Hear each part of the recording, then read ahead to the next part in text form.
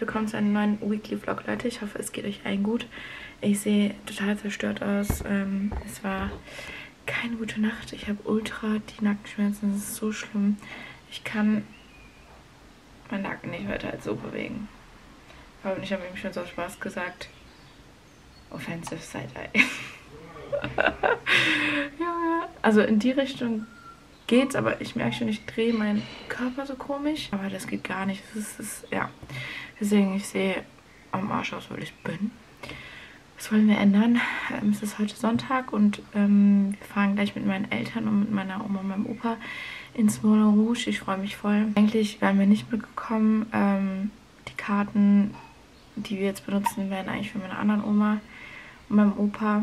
Ähm, aber ja, ja, der, ich hatte euch erzählt, dass meine Oma dieses Jahr verstorben ist und ja, mein Opa ist leider auch sehr dement und deswegen der, für den wäre das mehr Stress, als dass es dem irgendwas bringen würde. Und deswegen haben meine Eltern gefragt, ob wir dann die Karten nehmen möchten. Und ja, deswegen kommen wir mit und ähm, ich freue mich auf jeden Fall. Also ich hatte sowieso überlegt, dass ich da gerne hin will und ja, deswegen fahre ich jetzt mit.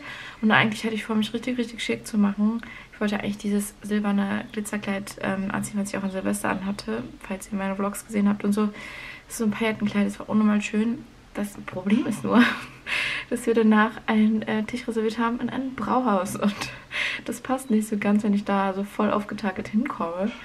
Deswegen weiß ich nicht, was ich machen soll oder ob ich mich noch umziehen soll. Deswegen ich weiß ich nicht, was ich genau machen soll. Aber ich wollte auf jeden Fall mir nochmal Locken machen mit diesen Heaters. Ich habe mir auch die Haare jetzt nicht gewaschen. Deswegen sind schon ein bisschen klatschig. Ich hoffe, dass das dann klappt. Und ja, wir müssen schon in so einer Stunde los. Wir gehen nämlich in die Nachmittagsvorstellung um 14.30 Uhr, nicht abends. So das halt so spät mit dem Essen und so. That's the plan. Wir frühstücken, also Fabian macht gerade Frühstück und ich mache mir schon mal die Lockenwickler ins Haar und lasse das dann einfach in meinem Haar, während wir frühstücken. Und dann mache ich mich fertig.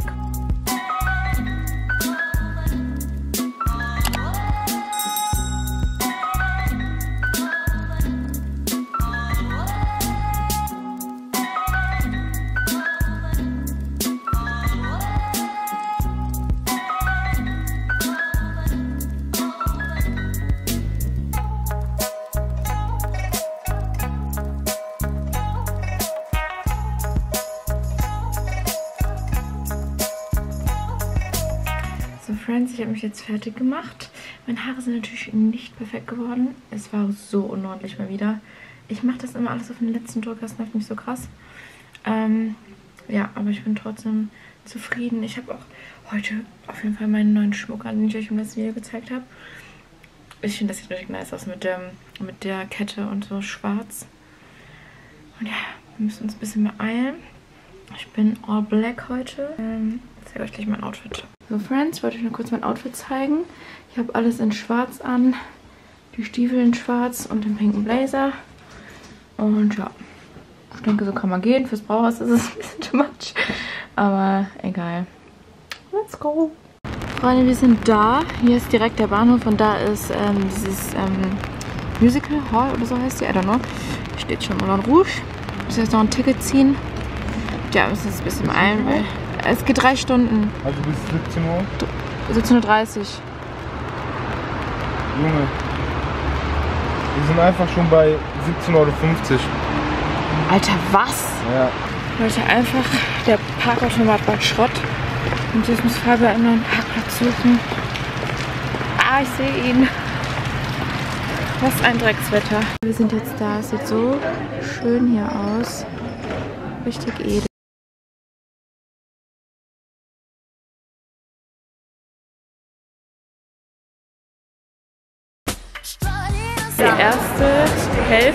Jetzt vorbei. Und jetzt haben wir Pause. Äh, ich wollte jetzt Cola und Wasser holen. Wollt, oder was anderes? Ich bin auch. Ja, natürlich. Ich glaube, ich würde auch eine Cola nehmen. Ja. Habe Cola, Wasser, sonst was, Champagner. Nimm doch ein Moe. Ne, ich bin auch für eine Cola. Okay. Und. Willst du was? Sollen wir uns eine Käsebrezel teilen? Nein. Scheiße.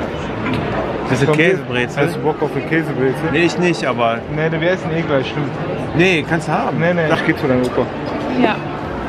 Wie findest du es, Schatz? Nee, nee. Du hast sowas zum ersten Mal Ja, gemacht, ne? Musical ist zum ersten Mal, finde ich, ja. Und, wie findest du Ich es? fühle mich wie im Film.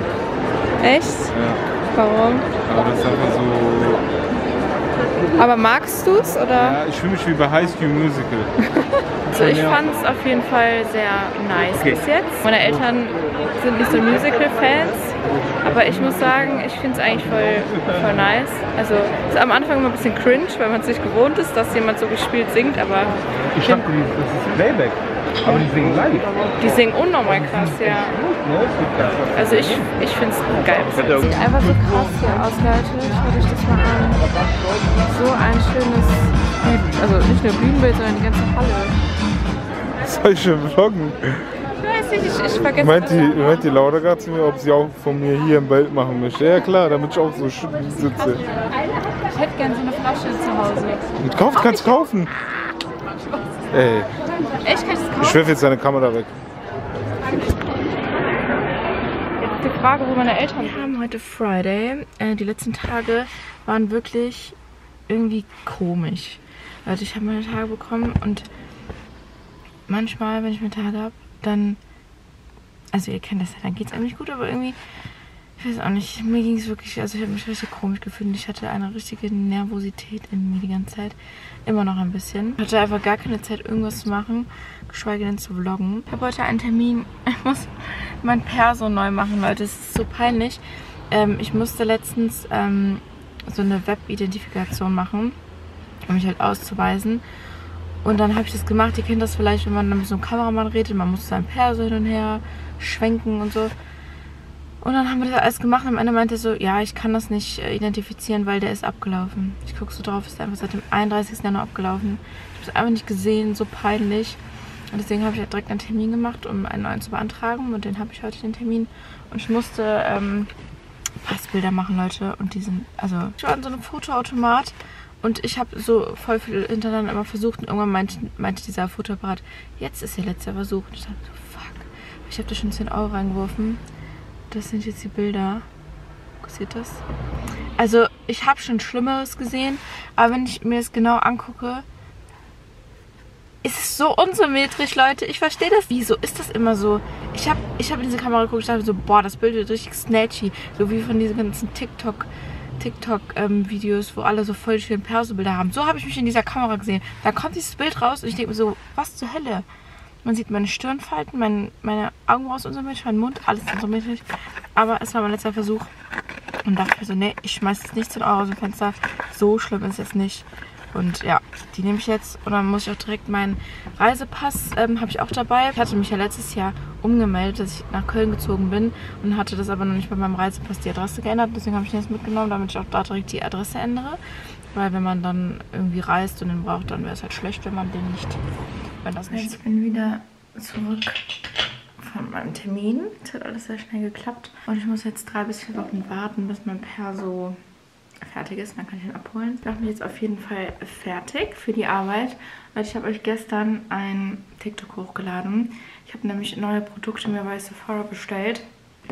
Und habe so ein ähm, First Impression Video gemacht. Das habt ihr zum ersten Mal mit euch benutzt. Deswegen schaut da gerne mal auf TikTok vorbei. Ja, den Douglas und den Sephora Gutschein. Und jetzt habe ich mir einmal von Rare Beauty diesen Highlighter geholt. Ich kann euch die Produkte gerne mal in der Infobox verlinken. Ich muss sagen, bei allen drei Produkten, die ich hier zeige, 20 von 10. Ich finde alle richtig geil. Den hatte ich bei keinem vorher gesehen. Den habe ich mir einfach bestellt, weil der mich angesprochen hat. Und ich dachte mir so, für den Sommer ist das voll die krasse Farbe. Wenn man halt was gebräunter ist, dann kann man das auch bestimmt so mit dem Körper tun, wenn man so ein schönes Kleid hat oder so. Habe ich mir sehr schön vorgestellt. Und ja, der ist echt richtig nice. Der hat einen richtig schönen, schönen Glow. Ähm, dann habe ich mir noch von Rare Beauty den Blush bestellt. Den habe ich bei ganz vielen auf äh, TikTok gesehen und wollte deswegen einfach mal ausprobieren. Das ist der hier. Ich habe mir den in der Farbe Happy geholt. Ähm, ich würde mir aber auch noch in anderen Farben holen. Das feiere ich auch mega. Und dann habe ich auch einfach, weil es mich angesprochen hat und ich es mal ausprobieren wollte, von Fenty Beauty was bestellt. Das habe ich auch bei niemandem gesehen bis jetzt. Ich muss ja sagen, die Verpackungen sprechen einen ja auch an. Ne? Das ist die Farbe Retro Rose. So sieht es aus. Und das ist, also da war ich so krass überrascht. Wenn man das auf den Lippen hat, das ist so weich und das gibt voll die Farbe ab, aber es ist ein richtig schöner Gloss, aber nicht so, dass das klebt. Wisst ihr, was ich meine? Ich verlinke euch alle drei Produkte in der Infobox, Leute. Ihr müsst das ausprobieren. Ich muss auch sagen, ich probiere so selten irgendwas aus, weil ich bin immer so, ja, wenn ich was gefunden habe, womit ich so eigentlich zufrieden bin, dann teste ich halt wenig. Vor allem, weil die Sachen ja auch ähm, ein bisschen teurer sind, weil es ja keine Drogerieprodukte sind. Aber in dem Fall hat sich jeder einzelne Cent gelohnt. Deswegen schaut auf jeden Fall mal vorbei in der Infobox. Ich habe die Sachen euch verlinkt. So, Freunde, das ist mein fertiger Look. Ich habe auch wieder meine neuen Produkte benutzt. Und ich finde, mein Make-up sieht richtig flawless aus. Das hat mich echt so richtig dazu gebracht, dass ich jetzt Bock habe, so mehr Make-up-Produkte auszuprobieren. Weil, keine Ahnung, man denkt immer, ja, man, man ist ja zufrieden, aber dann probiert man irgendwas Neues und denkt so, oh mein Gott, Hätte ich das mal vorher gewusst, dass das gibt. Ähm, ich muss jetzt auf jeden Fall schon wieder los zur Arbeit. Michi. Oi. Ist so schön, dass sie momentan einfach mehr hier drin ist. Weil die war echt eine Zeit lang so viel draußen, aber mittlerweile bleibt die immer drin und dann schläft die immer uns im Bett. Ich sehe die manchmal gar nicht, weil die so dunkel ist wie unsere Bettwäsche. Die ist so eine Genießerin, Leute. Ja. Oh, das ist der Punkt, das ist der Punkt. Oh ja. Oh. oh, bist du müde?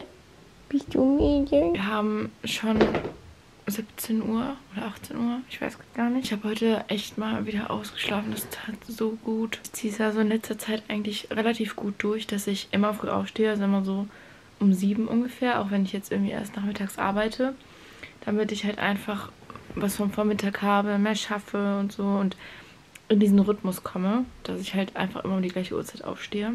Und deswegen, wir gehen auch was äh, äh, früher ins Bett. Bin Zeit lang immer nur so, äh, erst um eins oder so ins Bett gegangen. Mittlerweile schaffen wir es relativ gut, so vor zwölf schon im Bett zu liegen und eigentlich so fast zu schlafen. Aber dementsprechend tat es so gut, heute einfach mal ähm, mir keinen Wecker zu stellen. Und ähm, ja, jetzt habe ich den ganzen Tag irgendwie auf der Couch gechillt. Ich bin voll müde.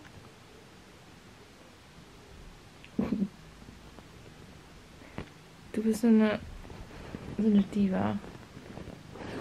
Warum gehst du genau in die Kamera? Ja, auf jeden Fall immer. Ich merke halt, wenn ich länger schlafe, dann bin ich auch den ganzen Tag müder, als wenn ich früher aufstehe. Das ist ganz komisch. Das wollte ich nämlich noch erzählen. Fabi fährt morgen nach Italien alleine. Wir hatten uns eigentlich ursprünglich halt Urlaub genommen für April. Ich hatte auch erstmal Urlaub, weil wir gedacht hätten, wir könnten in Urlaub fahren, aber so schnell, also wir hatten halt im Dezember den Urlaub also eingereicht und so schnell haben wir jetzt gar nicht irgendwie Geld sparen können für den Urlaub oder so. Weil wir auch in Barcelona waren. Ey, Michi. Und ja, deswegen habe ich meinen Urlaub halt, also bei mir ist das halt relativ flexibel. Ich habe meinen Urlaub dann weggemacht. Auf Fabio ist halt nicht so flexibel und deswegen dachte der sich, boah, bevor ich jetzt hier rumhänge, fahre halt, fahr ich halt nach Italien, also fährt er halt nach Italien zu seiner Family. Und ähm, ja, da war gerade noch Fabios Mama hier, weil die mussten gucken, wie das mit dem Auto ist. Er musste gucken, welches Auto er nimmt. Weil wir haben jetzt auch nicht mehr die neuesten Autos. Ich muss mir gucken, welches am fahrtüchtigsten ist. Ja, ich habe dann eine Woche sturmfrei, Leute. Ich war noch nie in der Wohnung so lange alleine ohne Fabio. Das ist schon krass. Aber irgendwie, also ich finde es zwar traurig, dass er weg ist, weil am Dienstag haben wir auch unseren Jahrestag. Wir sind einfach vier Jahre zusammen. Das ist so krass. Und er ist halt dann auch weg. Oh ja, man kann das ja alles nachfeiern. Das ist ja jetzt nicht so schlimm. Und irgendwie freue ich mich auch so ein bisschen mal dann zu gucken, wie es so ist. Nicht, dass ich nachher auf den Geschmack komme. nein, Spaß. Ähm, nein, aber irgendwie mal so wirklich so voll unabhängig von jemand anderem den Tag so zu gestalten. Ich merke, dass ich mache das selber manchmal automatisch. Zum Beispiel, wenn ich im Gym bin, dann würde ich vielleicht normalerweise eine Viertelstunde länger trainieren, wenn ich nicht wüsste, dass Farbe zu Hause auf mich wartet. So wisst ihr, was ich meine? So Kleinigkeiten. Und ja, dann kann ich einfach den Tag gestalten, wie ich will. Ja, deswegen heute wollten wir den Tag noch ein bisschen zu zweit nutzen, weil wir in letzter Zeit auch nicht so viel Zweisamkeit hatten. Deswegen wollten wir gleich irgendwie was Schönes essen gehen. Wir wissen noch nicht wo. Einfach den Abend zusammen verbringen. Aber worauf ich mich auch richtig freue, also ich bin halt bis Donnerstag alleine. Fabio ist jetzt von Sonntag bis Sonntag weg. Und ich bin dann bis Donnerstag auf jeden Fall alleine. Aber am Freitag fahre ich nach Holland. Ich wollte erstmal überlegen, alleine nach Holland zu fahren, weil ich war noch nie allein weg und ich dachte mir, wenn ich jetzt so eigentlich fahre, dann, weil normalerweise fahre ich ja immer mit Farbe dann in Urlaub. Aber irgendwie ich, war ich mir doch unsicher und dann habe ich einfach gedacht, komm, ich frage meine Schwester, ob die mit will, weil die hat halt Ferien und ich dachte mir, die freut sich bestimmt. Wir fahren auch wieder da, wo Fabi und ich damals waren und wo ich auch schon mit Annie und Judith war, nach Den Haag, also in diesen äh, Strand, wo dieses Riesenrad ist, Schevening heißt das. Ich war noch nie mit meiner Schwester so allein und vor allem nicht im Urlaub.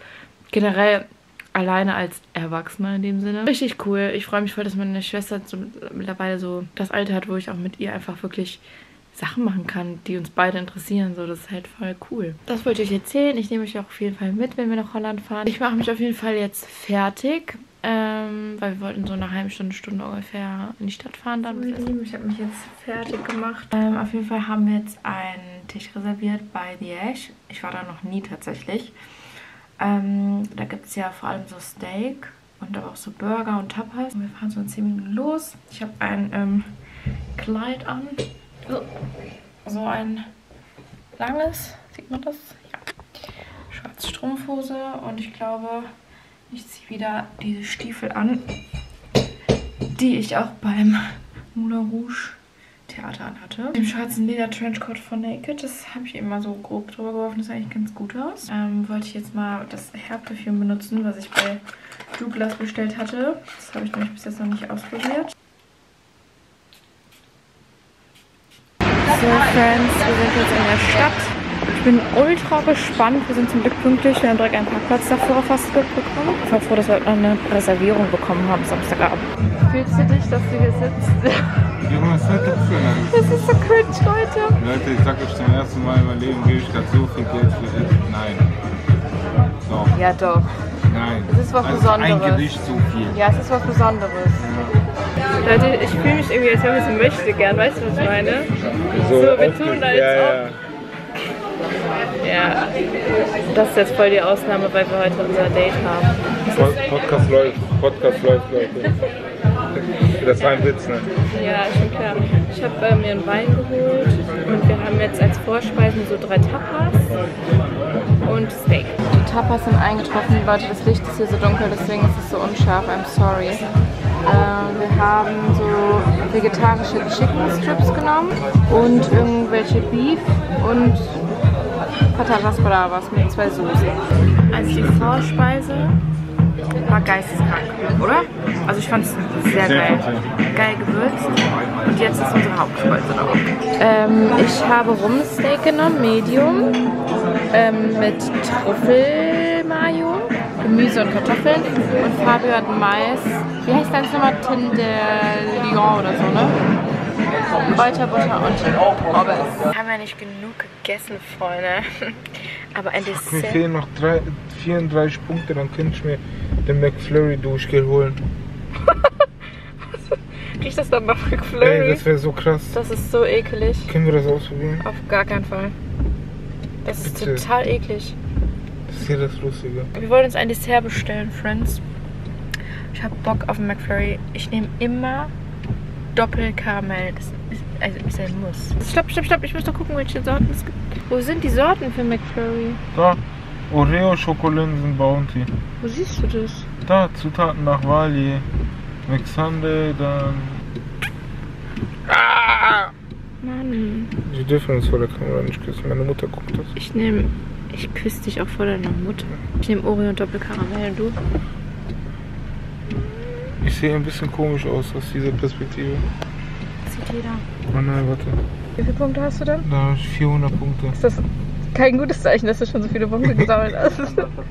Ähm, ich hätte gern zweimal McFlurry. Achso, ich habe noch äh, meinen McDonalds-Code.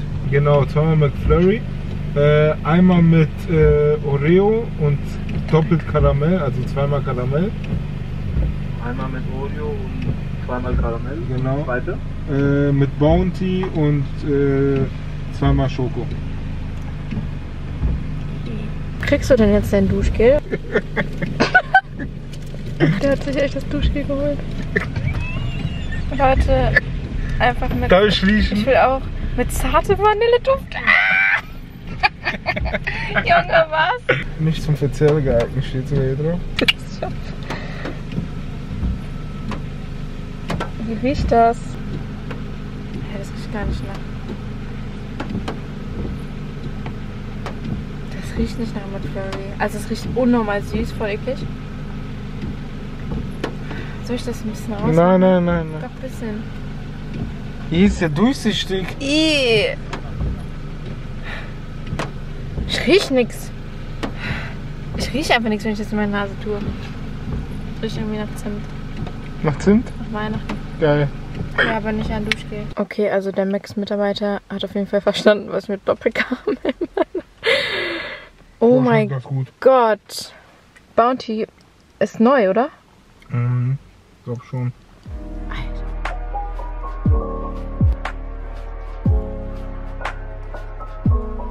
Wie ihr gerade gesehen habt, haben ich uns verabschiedet heute Morgen. Ähm, er ist jetzt auf dem Weg gerade nach Italien. Er hat mich gerade angerufen, er fährt jetzt gleich durch die Schweiz. Hat dann noch kein Internet mehr. Ich fahre jetzt gleich zu meinen Eltern. Und meine Oma und Opa kommen dahin, gucken die Fußball. Und dann fahre ich noch zu, zu Anni. Und dann noch ins Gym. Und dann muss ich noch zu Hause ein bisschen arbeiten. That's a plan for today. Ähm, heute lasse ich die Kamera mal weg. Aber, aber dann ab Montag nehme ich euch mit, wie es ist, alleine zu wohnen. Weil das kenne ich ja noch gar nicht, ne? Ja, ich äh, verabschiede mich an der Stelle jetzt auf jeden Fall von euch. Ich hoffe, der Vlog hat euch gefallen. Gebt dem Video gerne einen Daumen nach oben und ich würde mich sehr freuen, wenn ihr ein Abo da lasst, falls ihr mir noch nicht folgt. Danke auf jeden Fall fürs Einschalten und für euren Support. Ich habe euch alle ganz so lieb und wir sehen uns dann nächste Woche wieder. Bye, bye.